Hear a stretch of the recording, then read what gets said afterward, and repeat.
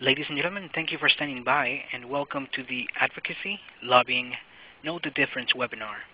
During the presentation, all participants will be in a listen-only mode. Afterwards, we will conduct a question and answer session. At that time, if you have a question, please press the 1 followed by the 4 on your telephone.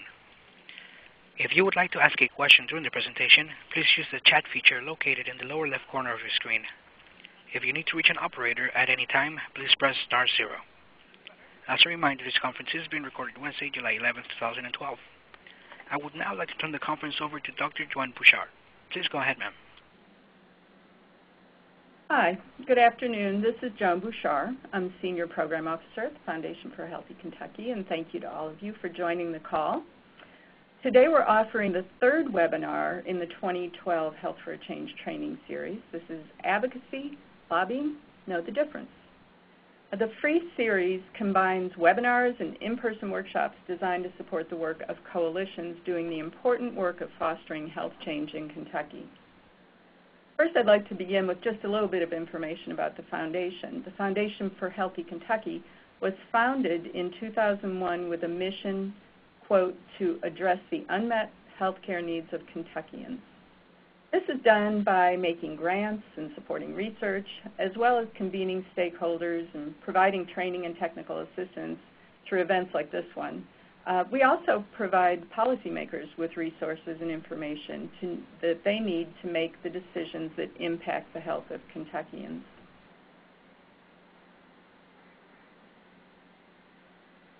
These are the um, current initiatives of the Foundation. It's promoting responsive health policy, in investing in Kentucky's future. Today we're joined by Nayantara Mehta, the Senior Counsel with Alliance for Justice. It's, a leading, it's the leading expert on the legal framework for nonprofit advocacy efforts. And Nayantara is part of Alliance for Justice's Bolder Advocacy Initiative. This program strengthens the capacity of the public interest community to influence public policy. Nayantara will explore the differences today between lobbying and non-lobbying advocacy activities by nonprofit organizations. But before we um, begin this webinar, I want to remind you of the scope of the Health for a Change series. And I know you can't read this, this copy of the flyer, but you can find a readable copy of the training calendar on the website. Um, the Foundation launched this series in May with two webinars um, that were demonstrated how you and your partners can find and use data sources to assess the health of your community. If you missed those two webinars, you can access them on the Foundation's website, www.healthy-ky.org. Just look underneath the Presentations and Reports tab. Um, we still have a limited number of spaces available for a July 25th workshop, How Change Happens, the Tour of Health Policy in Kentucky. This workshop will help you understand how local and state health policies are affected and effected in Kentucky. And the speakers will include Drs. Sheila Schuster, Ellen Hahn, and Marion McClure Taylor. You can register for any of the series remaining webinars and workshops by going to the Foundation's website. And with that said, let's start today's webinar. I'd like to welcome and thank Nayantara Mehta. Hi, everyone. Good afternoon. Thank you, Joan. Thank you for inviting Alliance for Justice to present this information. For those of you who aren't familiar with Alliance for Justice and our Bolder Advocacy Initiative, um, we're based in Washington, D.C., and we have a California office. And the goal of our program is to get more nonprofits involved in advocacy in whatever form makes sense for the organization. And we think that there's there's so many misconceptions. We know there are so many misconceptions out there about what nonprofits are allowed to do, and it's not helped by the fact that there are some kind of confusing laws out there. So what we try to do is make the laws that apply to nonprofits as clear and understandable as possible um, so that you are confident about your ability to influence policy. And while yes, there are some restrictions for nonprofits, it's important to know that there's a lot you can do. Um, and we also work with foundations to encourage them to support advocacy by their grantees or, or even to engage in advocacy, advocacy themselves um, up, up until what's allowed under the law. Um, so I will be going over the agenda in just a moment, and I'm going to be speaking and presenting quite a bit of information for the next um, 40 minutes or so or um, 35 minutes or so, uh, and then we'll save some time for questions at the end. And I think um, you've seen um, in the instructions that you can type in questions in the chat box, and you can, if you're uh, if you've called in, you can speak your questions at the end. Um, but I just want to make sure you know that this presentation and the opportunity to ask questions right now is not your last chance to ask your questions. We have a number of written materials on our website. It's bolderadvocacy.org, and I'll come back to show you this web address at the end. Um, we have free technical assistance where you can call us or email us every day. We have somebody on call to take questions. And so I'm, I'm telling you this information up front because um, I'm, I'm full disclosure, we're going to be giving you a lot of information. I don't want you to feel overwhelmed. If there's something that wasn't clear today and you don't have a chance to ask the question today or something occurs to you after today, um, please feel free to call us or email us, check out our website. Think of us as a resource for, um, for knowing what kinds of advocacy activities you can engage in because that's what we really want to do. We want to support the important work you're doing in Kentucky and, and all over the country. Um, so with that, um, this is what I, uh, I just want to uh, go over a few basic points, and this is kind of, kind of the agenda. Um, and these are some, I think, just good rules of thumb. Um, many of you on the call will receive government funding, state and federal funding. And the general rule for nonprofits that receive federal funds is that you can't lobby with those federal funds. Uh, lobbying is a specifically defined activity. Not all forms of advocacy are lobbying. So it's important to know what the definition of lobbying is attached to your federal funds. And I'll say a little bit more about that um, in just a moment. Uh, but some of you may be familiar with the fact that the CDC has um, issued some guidance on um, how they're implementing anti-lobbying provisions and talking about how, what what does it exactly mean for nonprofits that receive federal funds? What does that mean for state and local government that receive federal funds? So there is guidance out there, um, but the general rule of thumb is that if you, you have federal funds, you can't lobby with it. If your funding comes from state sources that didn't ultimately originate with federal funds, then the rules are probably going to differ. And some state funding may allow you to lobby with it and some state funding may not. So you need to know where your funds come from and what restrictions apply. There's unfortunately no one-size-fits-all rule or answer that I can give you that applies uniformly to every different single source of funding.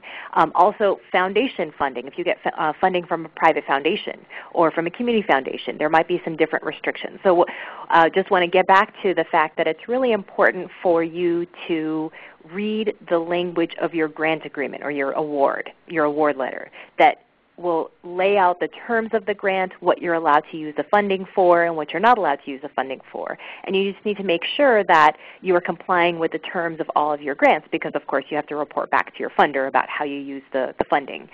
And although you might have certain sources of funding that have restrictions attached to them, like you generally can't lobby with federal funds, but that doesn't mean you can't lobby. It means you have to find another source of funds available to lobby. So just because you have certain pots of money that say you cannot lobby with this money doesn't mean you can't lobby. It just means that you need to have some unrestricted funding available. And that for those of you that have limited unrestricted funding available, it might be um, a good impetus to try to secure some of those less restricted sources of money so that you can actually lobby with it.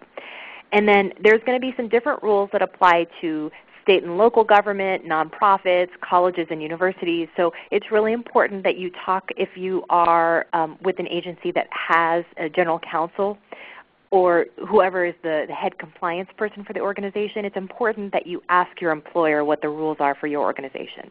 Um, and you, you may also be aware of the fact that there are the legal rules about what exactly you can do with certain sources of money, but some organizations and some agencies have their own internal policies, and they might limit who can say what on behalf of the organization. And that might not be a legal consideration so much as just an internal policy that only certain people are allowed to speak on behalf of the organization. So you just want to make sure that you're complying with your organization, with your employer's rules. And finally, for nonprofits, you need to make sure you follow the IRS rules and the definitions too. And I'm going to be spending the bulk of the time in this hour talking about the IRS rules for nonprofit organizations, and in particular for 501c3 organizations. And um, before going forward too much, I'll just say a little bit about 501c3 organizations. I've used the term nonprofit a few times already, and when I'm doing that, I'm generally being a little bit lazy and referring to 501c3 organizations. Uh, 501c3s are one type of nonprofit. They're the most common type of nonprofit organization. There are also 501c4 organizations that are also nonprofit. But most of the time when we use that term nonprofit, when we refer to nonprofits, they're usually going to be 501c3 organizations. And that means they're organized under Section 501c3 of the Federal Tax Code and it just means that you have to comply with the IRS, the Internal Revenue Service, and tax law rules for what 501c3s can and can't do. And my understanding is that most of you on the call right now or listening to the webinar right now are affiliated with nonprofit organizations, and I'm assuming that means most of you are affiliated with 501c3 organizations. And that's where I'm going to be focusing the bulk of um, my explanation today um, because the rules that apply to nonprofits are going to be a little bit different than the rules that apply to state and local government.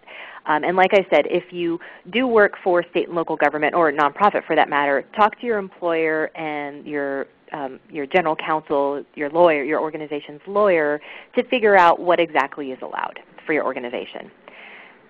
And I want to just illustrate the point that lobbying is a specifically defined activity. And this, you can see in front of you a slide that has a number of activities.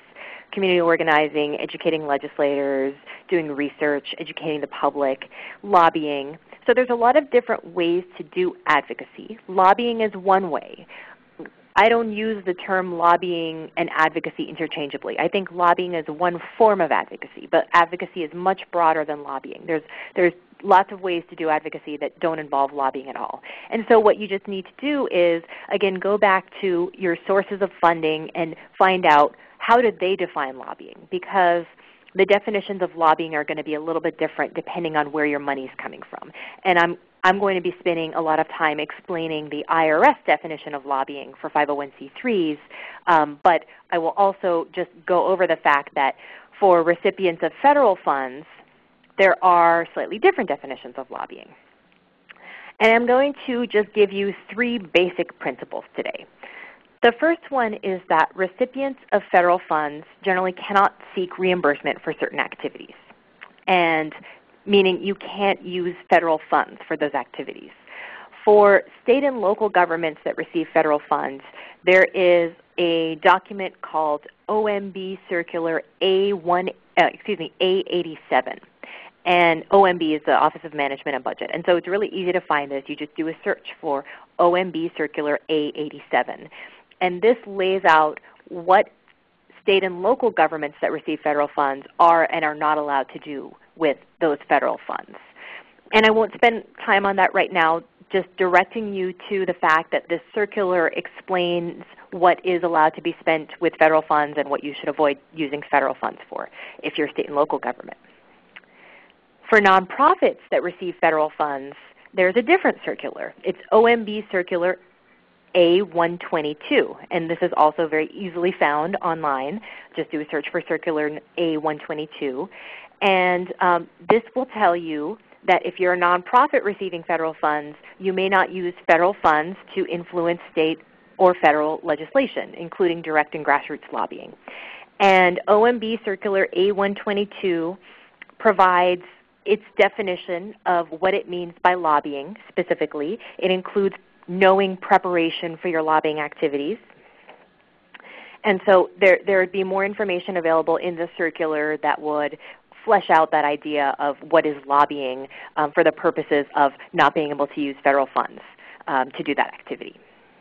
And then another basic rule is that you cannot lobby with federal funds for more federal funds. So this isn't just lobbying to influence policies, this is lobbying for more federal funds.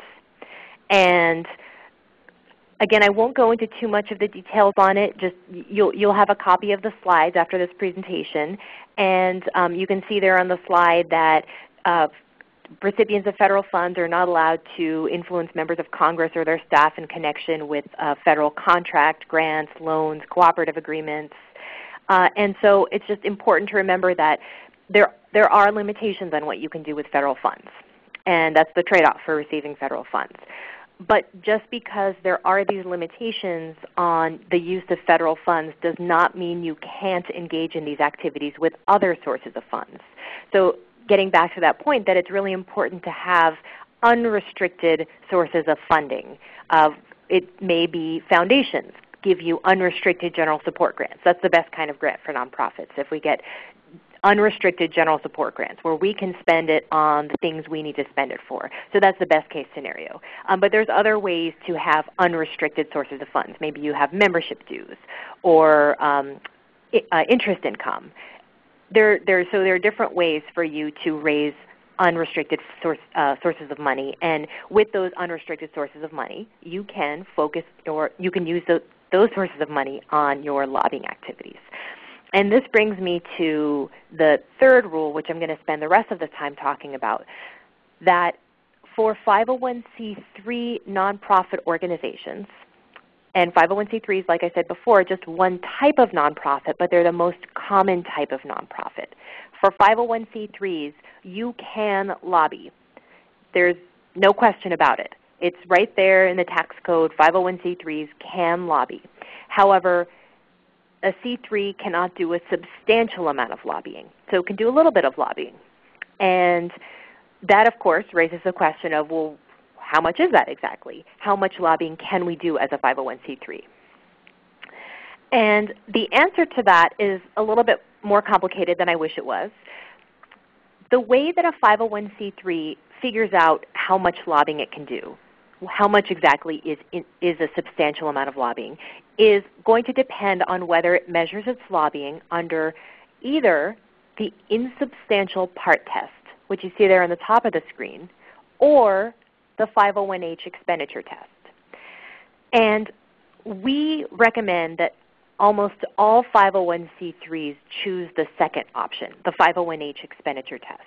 And the reason for that is because if you're under the insubstantial part test, all that the IRS tells us is that lobbying must be an insubstantial part of your organization's activities. Lobbying may not be a substantial part of your organization's activities. But it doesn't really tell you what is insubstantial. The IRS has never defined with a number what it means by insubstantial. What, is it, what does it mean to do an insubstantial amount of lobbying? They haven't told us. And they haven't really defined lobbying with a lot of clarity. And this is the default test for 501c3 organizations, which means that if you're a 501c3 and you haven't affirmatively chosen the 501h expenditure test, you're automatically under the insubstantial part test. And it doesn't mean you can't lobby. You can certainly lobby under the insubstantial part test. It just means that I couldn't give you a whole lot of clarity on figuring out how much you can lobby or what exactly is and isn't lobbying. Lobbying is generally efforts to influence legislation. But you can imagine that's kind of broad. Efforts to influence legislation, a lot could fall in that category. And in terms of the amount that 501c3s can spend under the insubstantial part test, I, have mentioned that the IRS hasn't given us a number. However, a lot of people who advise 501c3s will say keep your lobbying to 5% or less of your overall activities. So that is um, a rule of thumb that a lot of organizations go with. And um, however, if you go with that 5%, you should know that the IRS has never officially affirmed, yes, 5% is insubstantial. And the reason that the 501H expenditure test is a lot better than the insubstantial part test. The reason why I recommend that most C3s choose five, the 501H expenditure test is that you get clear limits. You get a formula for figuring out how much you can spend on lobbying. And it's up to 20% of your annual expenditures can be devoted to lobbying, which is a pretty decent amount of money. Um, that's for smaller organizations at 20%. If you have larger annual expenditures than $500,000 a year, if you spend let's say a million dollars a year on your, all your activities, your lobbying limit will be smaller than 20%. So there's a, a kind of graduated formula starting at 20% and it gets smaller and smaller. And you get a pretty clear definition of lobbying if you choose this 501H expenditure test. And I'm going to spend some time talking about that definition of lobbying. And I said a few times that I recommend, and we at Alliance for Justice really strongly encourage most 501c3s to choose the 501H expenditure test. I should say that if you're a church, if you're a 501c3 church, you are actually not eligible to choose the 501H expenditure test. You're automatically under the insubstantial part test, which means you can lobby you can definitely lobby if you're a church. It just means that you have the more vague standard that you can only do an insubstantial amount of lobbying. But for other 501c3s that are not churches, that are, that are what are referred to as public charities, you can choose the 501H expenditure test. It's really easy to do it. You just fill out this IRS form. It's called Form 5768. You send it into the IRS one time and you don't have to worry about it again. And once you do that, you get these this clear formula for figuring out how much you can lobby, and you get clear definitions of lobbying. And I think maybe one of the the best features, or uh, equally good feature of the 501H expenditure test is that all the IRS cares about is how much did you spend on lobbying. So all they care about having you report at the end of the year on your 990 form is here are the dollars we spent on lobbying. They just want to check that you stayed within your lobbying limit. And so what that means is that you can have a big effect. You can get the word out to a lot of people. You can mobilize lots of volunteers or community members in, in your emails or in your other public communications. And even though you may have a really strong effect on the outcome of a, of a piece of legislation, all the IRS cares about is how much did you spend. And oftentimes it's only going to be some percentage of staff time, some staff costs went to your lobbying efforts. So if you can take advantage of low-cost lobbying activities, you can do a lot of lobbying under the 501H expenditure test without racking up a lot of lobbying expenditures. And again, all the IRS cares about is what were your lobbying expenditures. So it's a really great way to maximize the amount of lobbying you can do while still staying within your annual lobbying limit. So again, just to reiterate, 501H expenditure test is the much better option for almost all 501c3s with the exception of churches which are not eligible to choose the 501H expenditure test.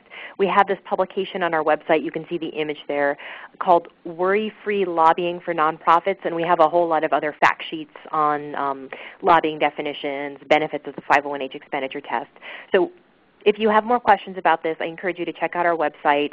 Um, the publication, the image you see, Worry Free Lobbying, dispel some of the concerns people have about the 501H uh, expenditure test because there's, there's also some misconceptions about it. And so take a look at our website, see what resources we have. But also if you have questions about it, feel free to call us for te free technical assistance. Um, we've had people call us before where they, after listening to an Alliance for Justice presentation, think, yeah, that makes a lot of sense for us, but I need to convince the board or I need to convince my chief financial officer to, to agree to this. And so then we've set up calls with the chief financial officer to, to talk through whatever their concerns are. So we're happy to do that because we really think that C3s can do a lot more lobbying under the 501H expenditure test, and by not choosing it, they're just limiting themselves to a more vague, uncertain standard when they have a much better option.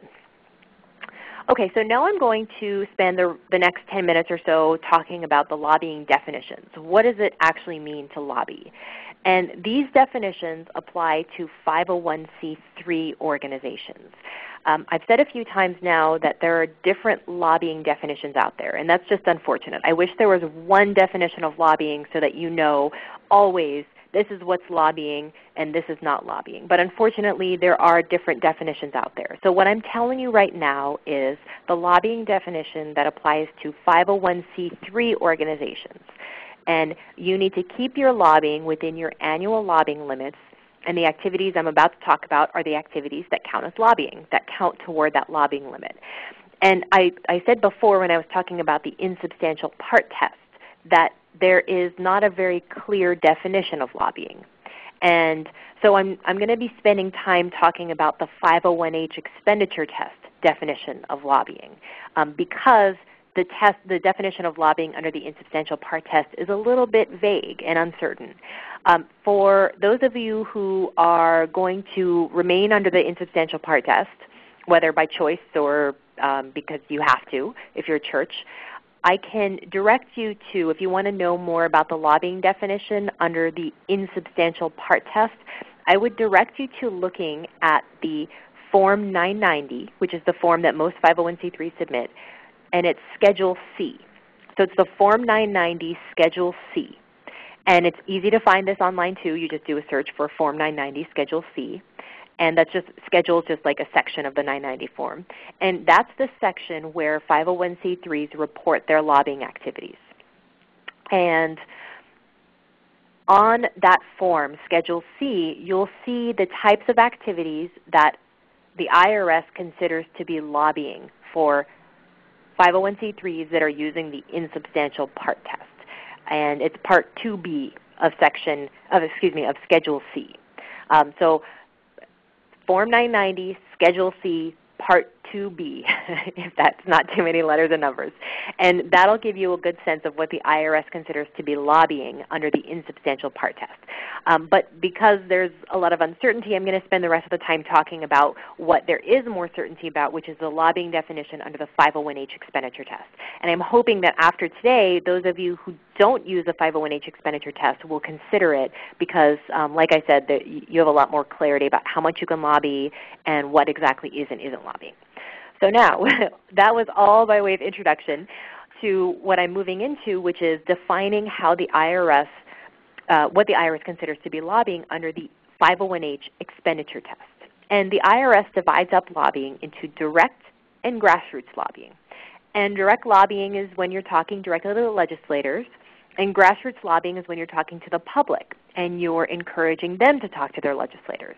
And I'm going to define them in much greater detail going forward. That's just to give you a general sense, direct lobbying and grassroots lobbying. And the really good thing about these definitions, the 501H expenditure test definitions, the good thing about the definitions is that you have to have all the pieces of the definition there in order for something to count as lobbying. So you have to have a communication with a legislator that expresses a view about specific legislation for something to count as direct lobbying. And for grassroots lobbying, you have to have a communication with the public that expresses a view about specific legislation and includes a call to action. If you're missing the call to action, it's not going to be lobbying. So it's really easy actually to walk through an example of a communication and figure out whether it's lobbying or not. And I'm going to start out by giving you an example of a communication. And this is, this is the easiest part. You know what a communication is. It's phone calls, emails, letters, um, in-person visits. Any way you convey a message is a communication. Here's another form of communication that may not immediately occur to you as a form of communication. Um, I like to use this example because it, it's creative and it's memorable. Um, this is a lobbying campaign from a number of years ago by the AARP where they sent a cake to each member of Congress. And each cake had a missing slice. And the message was, there is a missing prescription drug plan in the Medicare bill.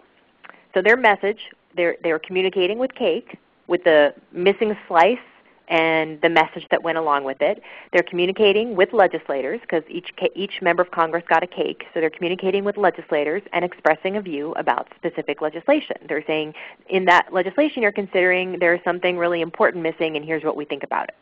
So this is a straightforward example of direct lobbying. And under the 501H expenditure test, all you have to do is count what it cost you to carry out this lobbying campaign. So if you had an army of volunteer bakers and people who were willing to, to deliver these cakes and you didn't pay them anything, then your lobbying costs will be very low.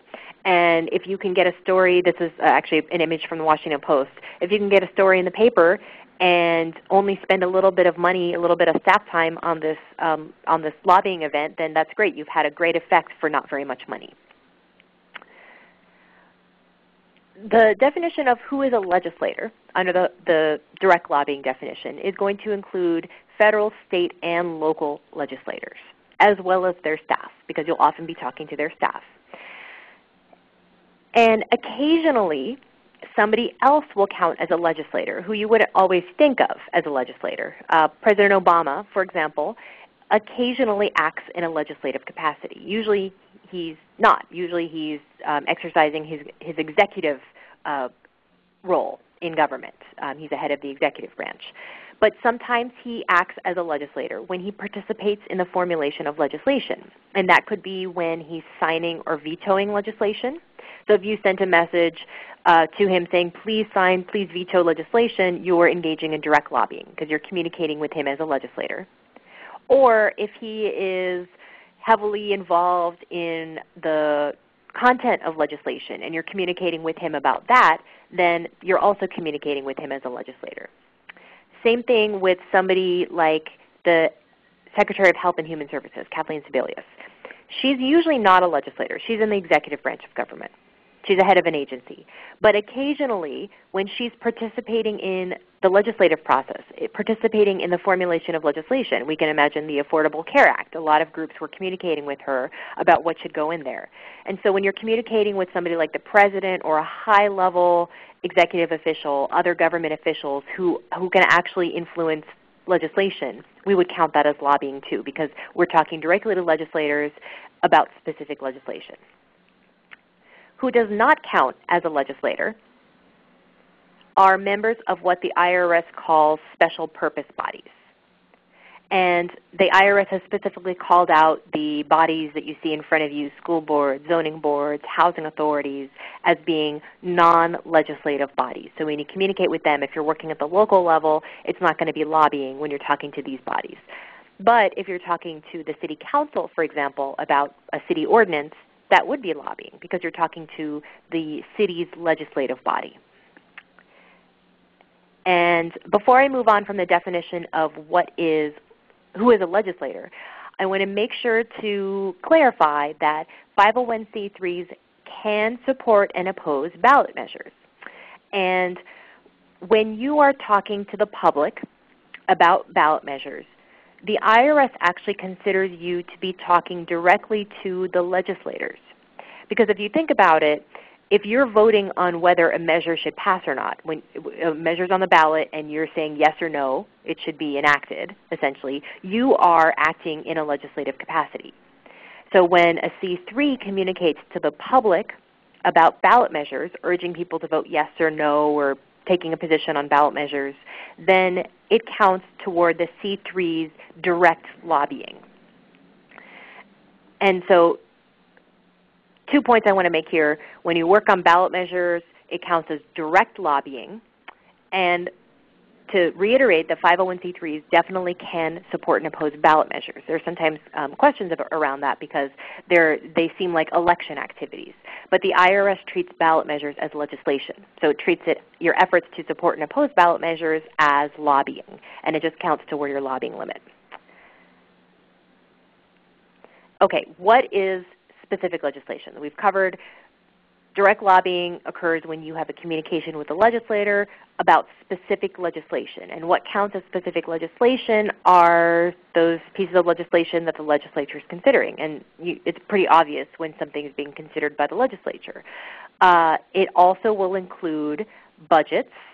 So if you try to influence um, if, if the governor in your state plays an active role in shaping the budget, either the governor or the legislature on the budget, then that counts as communicating with the legislator about specific legislation. Um, budgets and taxes count when the legislature is voting. But the IRS considers specific legislation to go beyond just something that's been introduced. It also includes proposed legislation. So you see in front of you this guy and he's got a light bulb over his head. So if you're like him and you've got this great idea, you've got a light bulb going off over your head, you've got a great idea for uh, proposed legislation, and you go talk to a legislator about that, even though nothing's been introduced or written up yet, if you're specific enough about what you want to see in that legislation, we would count that as lobbying too, because it's expressing a view about proposed legislation in enough detail that the legislator is pretty clear what you want them to do. So it's not just like we need more funding for uh, that, that supports children in our state. it's more specific, like we need funding for this kind of program, or we need to increase funding for this program by X percent, or we have a pr proposal to increase uh, to impose a, a tax on this commodity to increase funding for this program. So it's getting into specifics about what you want to see. What is not lobbying is your efforts to influence non-legislative actions. And that will include your work on regulations, executive orders, asking for a law that's already, that already exists to be enforced, or engaging in litigation. And this is really important around in, in, for groups that work on health issues because, of course, um, at the at the federal level, for example, the implementation of the Affordable Care Act, there's a lot that's going to be going on within the Department of Health and Human Services. So your work on regulations is not going to count as lobbying, and the same goes at the state level. Uh, at litigation, if any, anyone took a position on the Affordable Care Act, that was recently um, the decision that was recently issued by the Supreme Court that upheld the Affordable Care Act and the individual mandate. If anyone took a position on that, like maybe you submitted a friend of the court brief or, or took a position on it, it's not lobbying because the court process is not lobbying. So there are plenty of ways to influence policy that don't count toward your lobbying limit at all because you're not influencing legislation. Okay, I just want to close out by talking about grassroots lobbying and talking about how it differs from direct lobbying.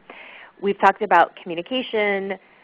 Here, in order for something to count as gra uh, grassroots lobbying, excuse me, you have to be communicating with the general public, expressing a view about specific legislation, and you have to have a call to action. And a call to action is the really important point here. For your communication to the public to count as grassroots lobbying, you have to have one of four very specifically defined calls to action. The IRS defines a call to action very specifically. You have to either be telling people to contact their legislators, providing the contact information for legislators, providing a mechanism to communicate with legislators, or identifying legislators who are going to be voting. And I'll give you some examples now.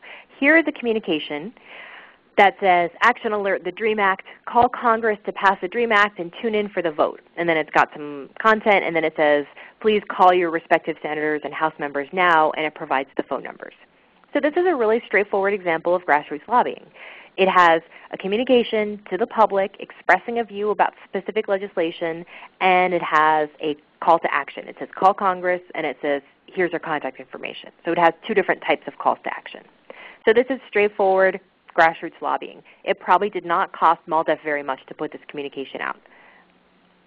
Here's an example of the third call to action where you have a communication to the public on specific legislation. I know it's grayed out so it's kind of hard to read, but it is about specific legislation, asking people to asking um, members of Congress to oppose some legislation. And it has a mechanism for people to communicate with their legislators. So you're sending this to people. You've already written up a, an email that you are proposing that the public send to their legislators. All they have to do is type in where they live, who they are, and then the program knows to send it to their relevant representative. So this is a straightforward example of grassroots lobbying where you're urging the public to communicate with their legislators by using a call to action on specific legislation.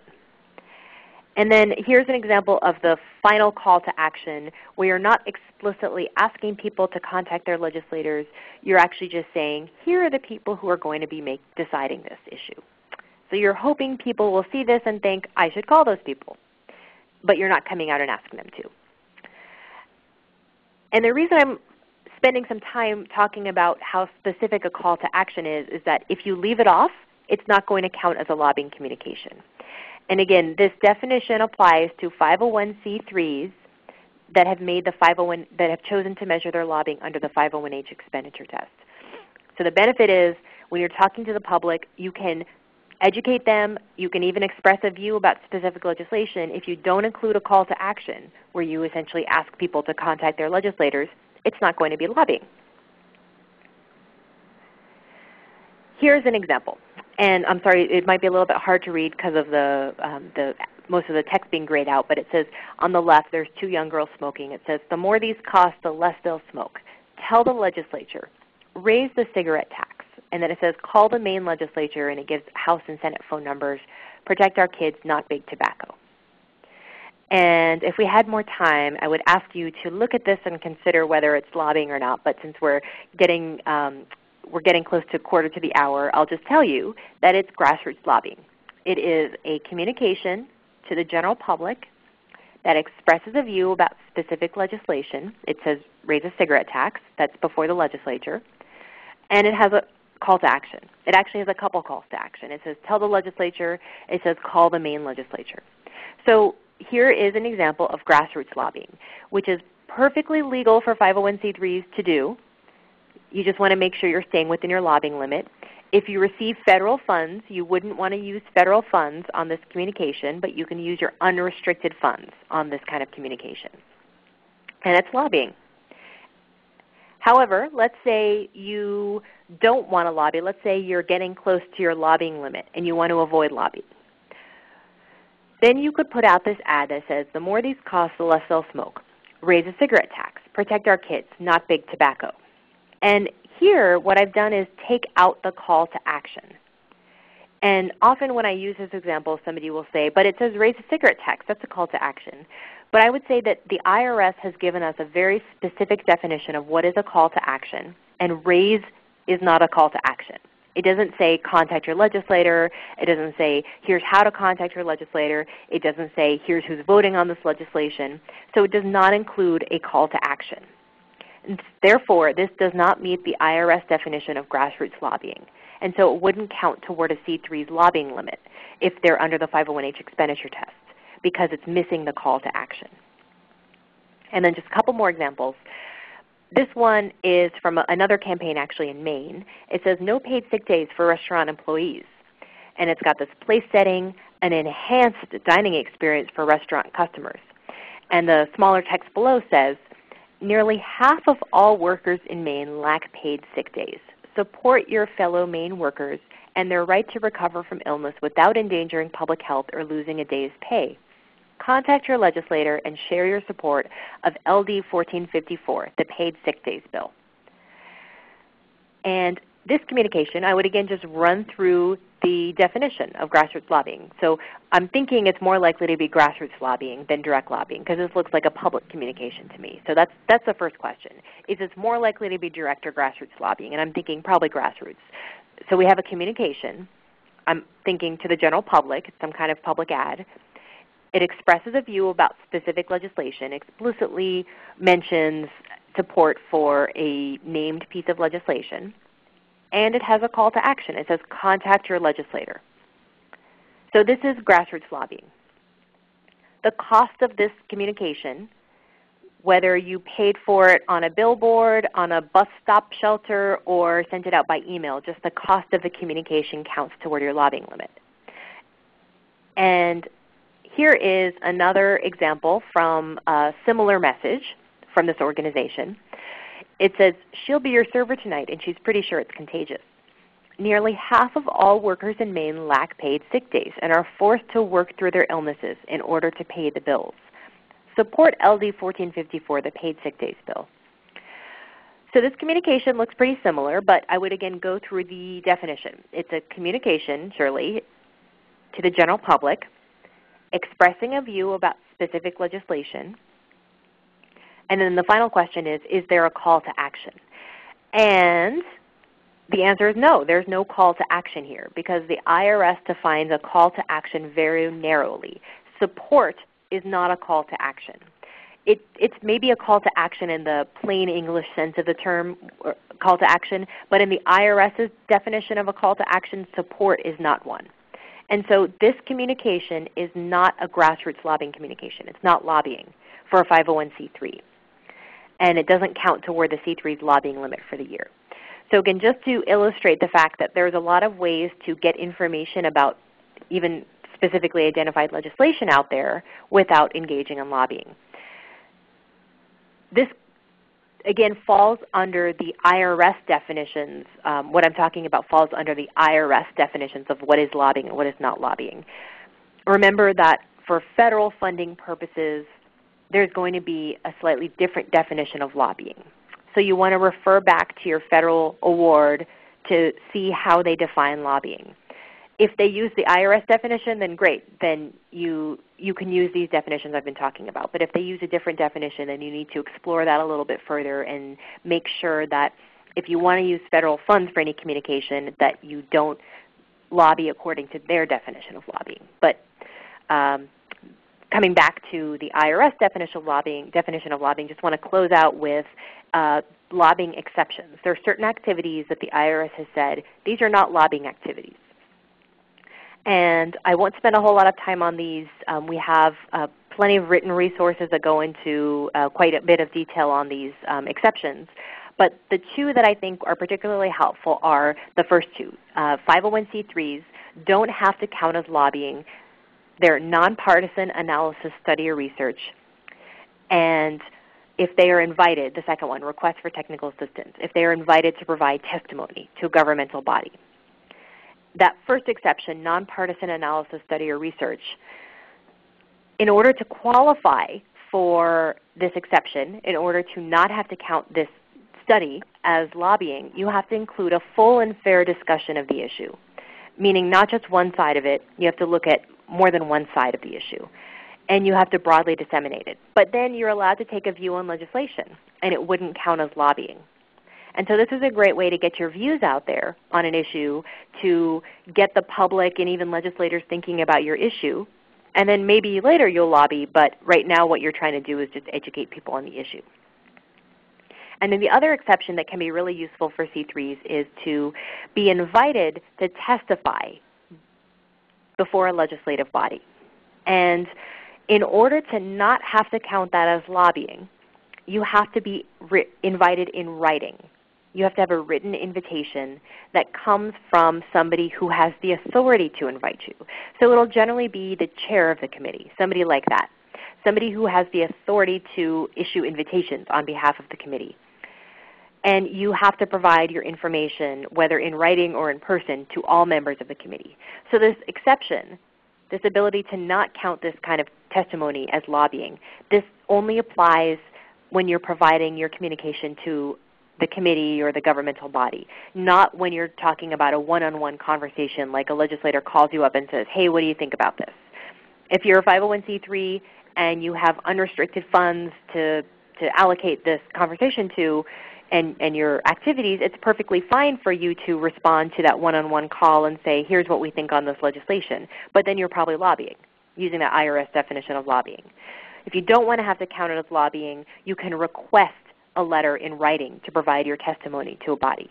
So it just depends on whether you need to count some, if, if you need to avoid counting something as lobbying, if you have enough room in your lobbying budget and you have enough unrestricted funds, there's no harm in just lobbying and not getting the letter in writing because you don't have to worry about your lobbying limit if you're not, if you're not doing too much lobbying. In front of you is a chart, and it's actually two pages of chart that I'm not going to go into because it's kind of complicated. What I want to do is just allow you to have this chart in your handout so that you can refer back to the different federal laws that apply to grantees of generally federal funds. Um, so you have this to refer to to figure out where to look for more information. Um, but I would, I'm going to come back to our contact information, Alliance for Justice, Justice's contact information, um, because I want to make sure that if what I presented to you um, was maybe a little bit confusing or you need to let it sink in a little bit and you want to follow up with us, please do feel free to contact us for free technical assistance. Um, either call us or email us. There's an, the address, email address, advocacy at afj.org and our toll-free number there. Also, I mentioned our web, uh, website, bolderadvocacy.org, has a ton of fact sheets and publications that are free. Um, and if, you, um, if anyone's on Twitter, you can um, send us a message. And if you have any follow-up questions or comments about the presentation, we welcome um, more conversation about this. Um, so I know that Joan is going to um, facil facilitate the Q&A right now, but I, I do just want to um, acknowledge that what I have presented to you is a lot of information and it's a lot of details and we are especially equipped to help you navigate the 501c3 lobbying definitions, like the IRS lobbying definitions. We don't have expertise on all the federal lobbying definitions because there's, there's um, each, each agency might have slightly different rules. So we want to be helpful to you, but I also want to be upfront that we wouldn't always necessarily be able to provide you with a precise answer when it comes to your federal funds question. Um, we'll probably direct you back to your own in-house general counsel or to the agency itself. Um, but we're happy to receive your questions and, and see if we can help you in any way. Great. Thank you so much, Nayantara. Um, Carlos, do you want to open the line for questions? Sure thing. Ladies and gentlemen, if you would like to register a question, please press the 1 followed by the 4 on your telephone. You will hear a three-tone prompt to acknowledge your request. If your question has been answered and you would like to withdraw your registration, please press the 1 followed by the 3.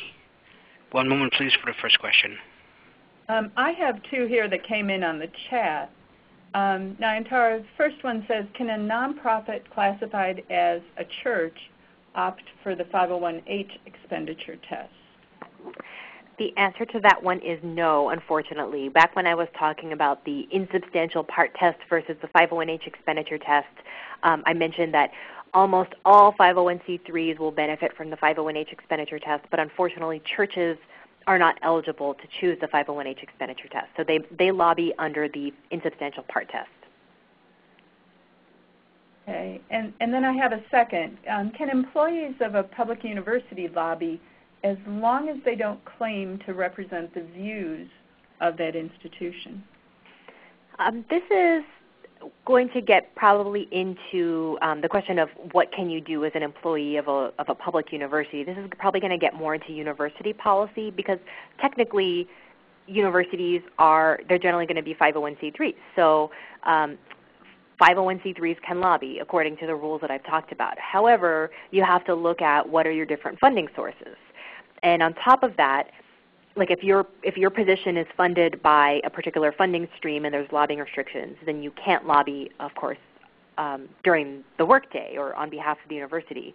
Um, I don't see why you couldn't on your on your own time um, lobby uh, on issues that you care about as an individual, but I would urge you to check with your boss at your university because while I'm saying I don't see any legal reason why an individual couldn't lobby on their own time, um, there may be some organizational policy that limits what people can do and say in their individual capacity. I, would be surprised if there was, but it's probably better to ask beforehand. Um, Carlos, do you have any questions there on the line? Not at the moment. Once again, to queue up for a question, you may press 1-4 on your telephone keypad. Okay, so I have one that says if a youth or intern um, representing an organization that's part of a state university addresses specific legislation with a legislator, is that lobbying?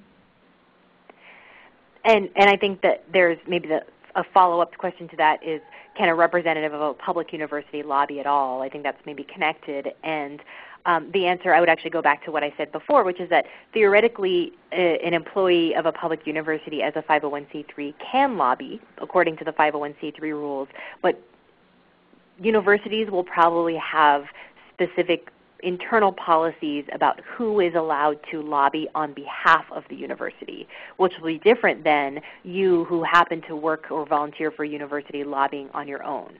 Um, so that I will bounce it back to your employer and check check with your um, with your department head to find out what the restrictions are, if any. Okay, and then the next one says under the Hatch Act, and then in parentheses, CSBG fund. Can we educate clients about where to vote? Um, the county clerk happens to be in the same building where we provide client services. Uh, this is going to be another one of those check with your employer answers. And the reason for that is because there are a couple of different funding sources where there are limitations on how whether a nonprofit employee can register people to vote. And it's fairly limited. Those restrictions are fairly limited. So um, usually the ability to register people to vote should not be affected by, um, by receiving federal funds, but there are a couple of limitations. And I'd actually suggest check out, there's a fact sheet by the organization Nonprofit Vote. Oh, I'm sorry, the, the clarification is you don't want to um, actually register people.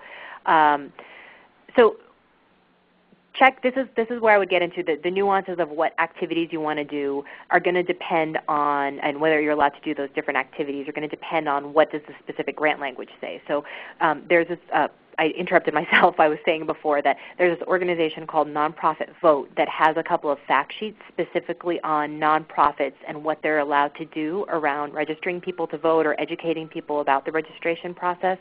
So just go to um, Nonprofit Vote and see about um, the, the fact sheets about nonprofits and helping people to, to vote because again, like I said, there are some restrictions with some federal funding streams on registering people to vote, but it's, it's fairly limited what those restrictions are. And sorry about the siren in the background. I'm right over the street. Um, and then another one says, how does an organization come under IRS scrutiny? Are there efforts to find lobbying excesses, and who instigates such initiatives and why? Hmm, that that is a common question that we get uh, because you know we talk to 501c3s both about the lobbying limits and staying within your lobbying limits, but also about staying nonpartisan in an election year, meaning you can't support and oppose candidates for public office. And I didn't even touch on that today. Um, that's a whole other issue. Um, 501c3s can definitely get involved around elections, but they must do so in a nonpartisan way. And we inevitably get questions from organizations like, well, how does the IRS even find out about what we're doing? And I mean, the, I think the truth is that there's not enough people working at the IRS to monitor what every 501c3 is doing.